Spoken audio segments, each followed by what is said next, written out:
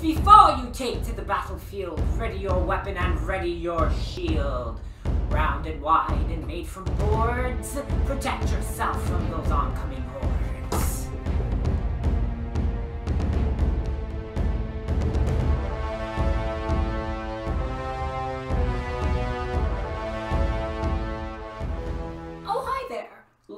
Again, and today, to follow up on talking about swords of migration era um, to Anglo-Saxon and Viking that we did in our last video, well, we featured shields. We might as well talk about shields. So today, the round shield of Saxon and Viking eras.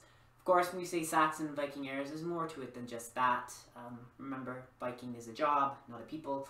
But we have Danes in Britain, we have Anglo-Saxons fighting them, so we can call this a Saxon round shield or a Viking round shield. That's fine. We'll use that as our terminology. So I'll put the sword down for a second, because the first thing we're going to do is we're going to explain what makes up the round shield. Now, it could be made from thin layers of wood, but that's really hard to do, so most likely planks and um, they're slotted together so that they're they're planed and slotted together here. And I've made this one myself. It's not finished and it's definitely not perfect. It does need rawhide around the edge, but rawhide is expensive, so I haven't got to that yet. I may just use some regular leather straps that I have, but that's besides the point. But what is a round shield? Well, obviously it's round. The boards, planks go together to make up the shield then you've got a single handle. This one isn't quite historically accurate, but it's something that I could throw together myself, just for training purposes, just to have.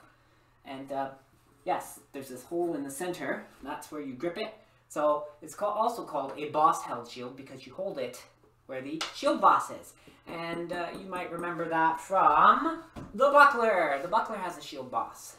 We talked about that. So can we see that this just looks like a little version of this. And in a lot of ways, that's what a buckler is. But you use it kind of differently because this is big. This is meant for the battlefield. This is meant to cover. And this is definitely a shield, 8th, 9th, 10th century. We're looking at, uh, we have examples from earlier. Anglo-Saxon will probably have a bit different shield boss. Some of the earlier ones are definitely different designed. They may flare uh, in and out a little bit. There might be a little antenna type spike, just a little thing on the end of it. Sutton Hoo. That's what they found. Their shield boss is definitely very different from this one here. Let's see if we can get it. There we go. Looking at different angles. But yeah, boss held. Now this concept of a shield you hold with one hand in the center rather than having it strapped to your arm. This is pretty old idea. We know the Celts and uh, German tribes and the Romans, the Roman scutum, their big rectangular shield that's curved.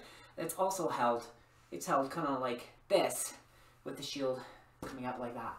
So they there is a lot of history behind having a shield held in the center hand. Now it's already feeling a little bit heavy for me. It's fine, I can, I have enough muscle to get through the whole video, but there we go. So when you're using this kind of shield, one is going to be disposable. It's made out of wood, and most shields throughout history are made out of wood. Yes, there'll be examples of bronze shields early on, but wood is the primary construction material for making a shield. So we have our wooden shield, a little heavy. You can fight with it, you can thrust with it, you can kind of strike, push, but it offers a lot of protection. Now, it's different from the buckler because if we were a buckler and you fought like this, the way we would position a buckler, well, the blows are going to glance off and up into your face. So you're going to use it a little bit different. You can have it out in front of you. And you can have your weapon at the ready, ready to peek around the side. And I'm going to move the shield and cut, similar to some of the buckler techniques where you're cutting around the buckler. But I'm also pushing with this and giving the camera a good workout for its focus. So it's very different as far as the fighting style because you're not in so close all the time. You can also look at the opposing shield. You want to hit the shield, opposing shield with yours, and try and turn it. If you can turn it in, then you've got an angle to attack, or you can turn it out.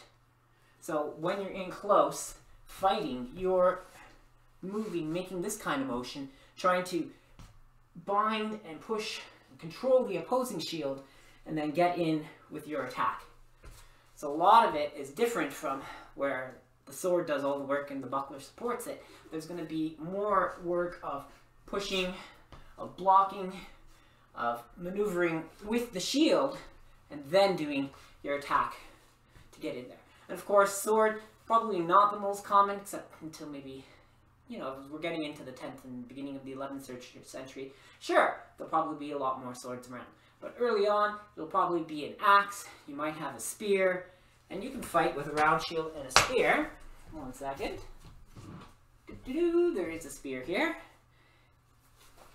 You can fight overhanded, like that. You can fight normal-handed. There we go. So, a spear and a shield you could use. You'd probably hold it a little bit close to the center. If you were using it with two hands, then you can hold it a bit further back. But one-handed, and then if your shield does get destroyed, you cast it off, you could just switch to the spear, and you have that reach advantage. Put the spear away. Make sure it doesn't fall down. Don't fall down. There we go. But yeah, so Saxon, Viking, round shield on the continent in Europe as well. Early Middle Ages, we're going to see the kite shield come in and start to replace this, and we're going to start to see different designs on shields where it's actually strapped to the arm, and you have several points of connection, though you can take the straps and you can still hold it like a boss grip shield. You can still hold it with one hand on the straps, but that's for another video. This was just going to be a quick look at the round shield, so we could get an idea for it. You can see its size, you could really got a lot of protection. You're hiding behind it. You do need a strong forearm in order to use it. It's definitely going to be a lot heavier, although this homemade one is probably a little bit thicker and heavier than it needs to be. I could definitely make a better one. And, of course, our um, handle that's also used to keep all the boards to help keep them together. We could have additional planking as well, but it's a little thick. So it adds to the weight. So anytime you can cut down on the weight and still maintain the strength of your shield, that's always an excellent thing to do. But again, it's big, it's made of wood with this metal boss. And, oh, incidentally, this metal boss, look what happens. So you imagine fighting, someone cuts in, you can push, help control the opposing blade. So it's not just, well, I want to hold it in the center, close to the shield, so I need a hole so my hand doesn't rub against the wood. So I'll put this metal cap over it. But it's also good for fighting.